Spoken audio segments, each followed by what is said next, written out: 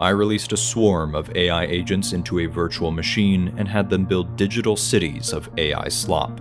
These are 10 AI agents working in parallel to create both complex images and a fully interactive website that you can go play with right now.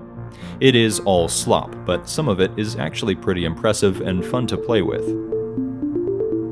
This is a country of geniuses in a data center, or a group of morons in a virtual machine. This week, Anthropic quietly released several experimental updates to Claude Code, their command line coding clanker.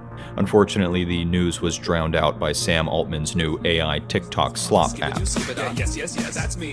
Every day we stray further from God.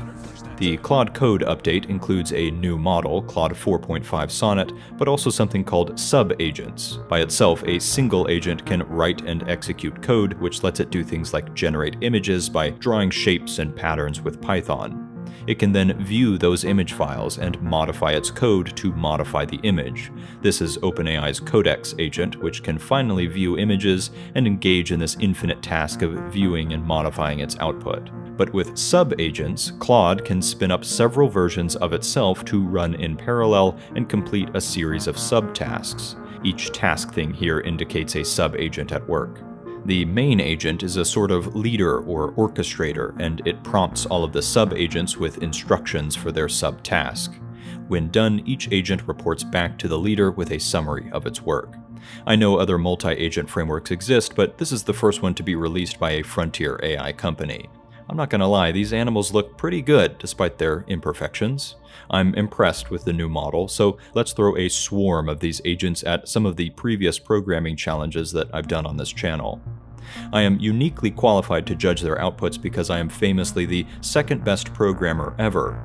The first best is, of course, this guy. So I am the smartest programmer that has ever lived.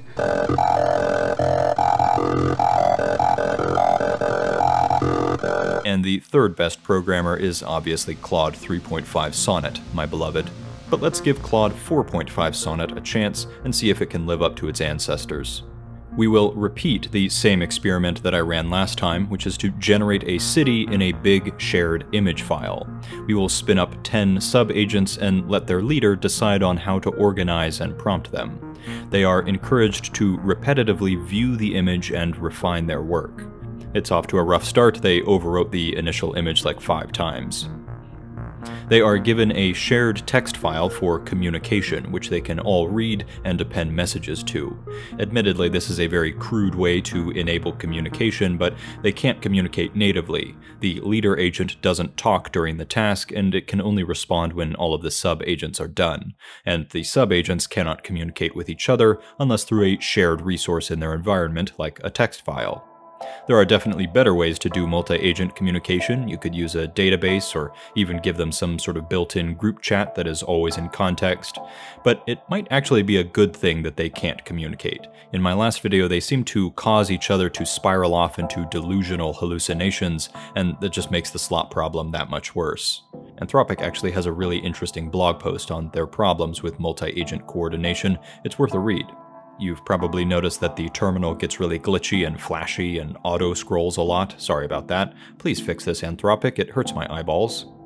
Also, annoyingly, sub-agents keep asking for permission for the same things. They should make it so that if you approve it for one, you approve it for all.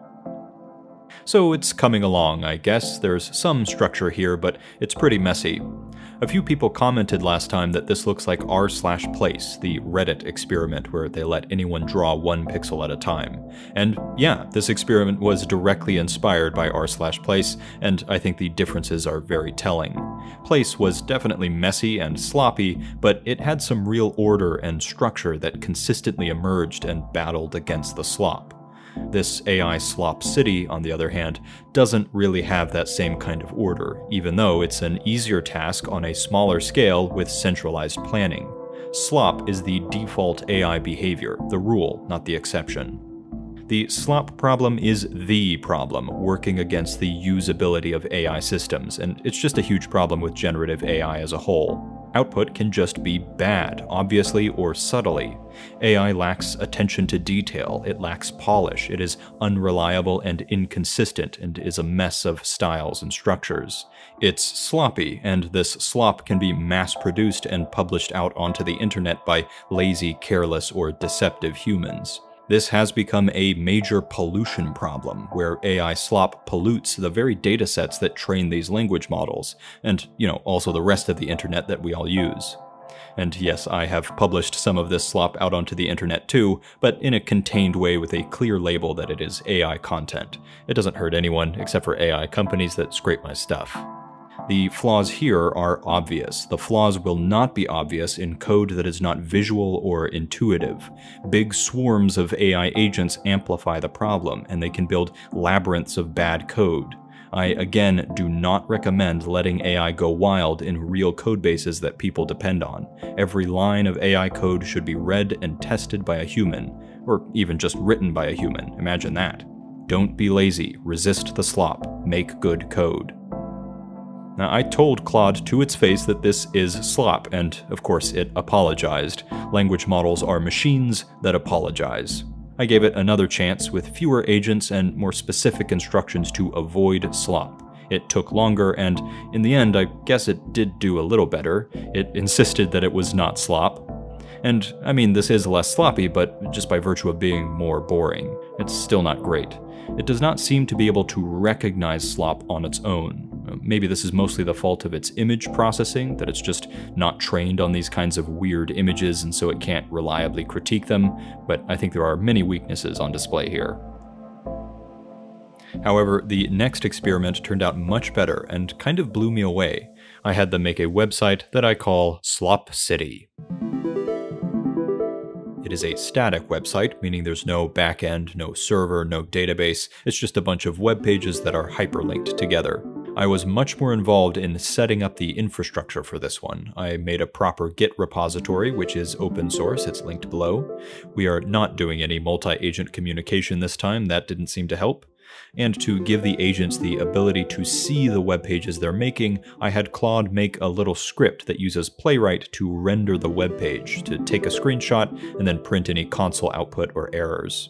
So by taking a few extra steps, the agents can look at the web pages that they make and get feedback, although they can't interact with those pages.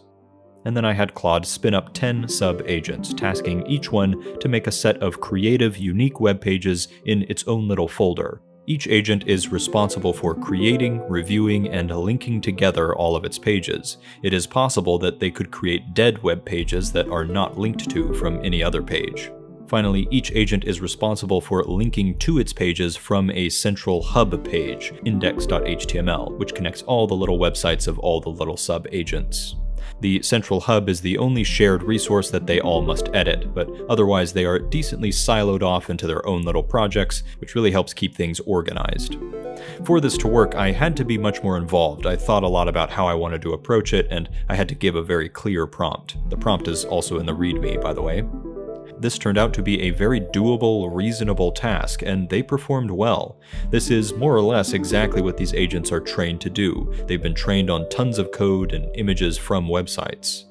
The leader agent chose some good subjects, organized the sub-agents well, and all of them ended up doing a pretty good job.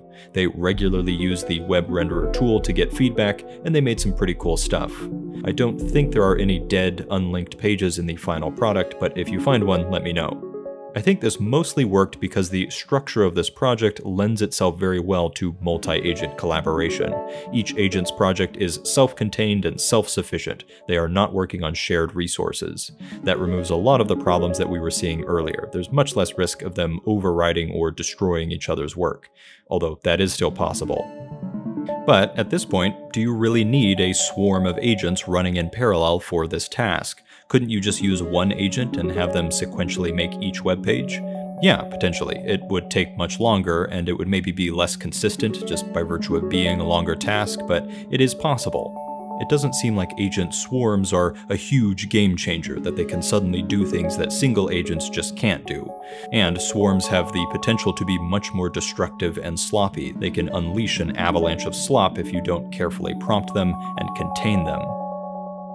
So I will skip to the end result. Here is the final Slop City website, which cost me about 17 bucks total. It's a little web of creative projects that are somewhat generic, but also pretty fun to play with. You can go play with it right now, the link is in the description. There are lots of problems with these, the most glaring of which are performance issues. A lot of these simulations chug, and they turn into slideshows. Some are pretty cool, I really like these maze ones. This one pits two maze-solving algorithms against one another, that's fun. And this one is a 3D maze with a 2D map on the side. Isn't that cool? It's not very playable, the controls are clunky and slow, but it's neat that it came up with this on its own. I also had a lot of fun making little songs. There are some obvious flaws and some more subtle flaws. For instance, this neural network simulator kind of works, but I don't think it has activation functions, so it can't learn complex decision boundaries. I will let the work speak for itself. Go mess around with it and see what works and see what doesn't. I found it impressive and honestly a little scary as someone who used to do web development as a day job. That being said, it is deeply flawed, and it would take a lot of work to make this an actual professional website. I maintain that it is a terrible idea to let AI do everything without human oversight. Human coders are still very valuable. Apparently, we're about three months away from either the AI bubble bursting or the full-blown singularity, so that should be entertaining. I'll be sure to make a video when that happens. But thanks for watching. Join my Patreon if you want to support my work, or check out this link for Scrimba to learn how to code. This link gives you a 20% discount and it directly supports my channel. You should learn to code, if only because learning to code is learning to think. Goodbye.